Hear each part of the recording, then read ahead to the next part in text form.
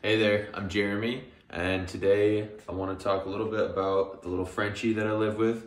So this is Cardi. This is